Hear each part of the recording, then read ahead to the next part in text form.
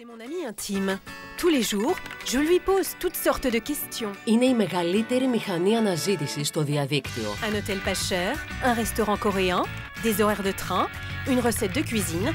Google ne me quitte jamais. Η Google ξέρει τα πάντα για μας. Bref, il sait tout de moi.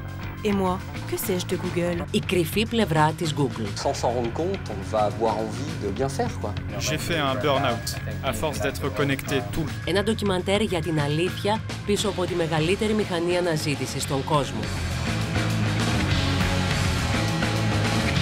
Η κρυφή πλευρά της Google. Την πέμπτη το βράδυ στις 8.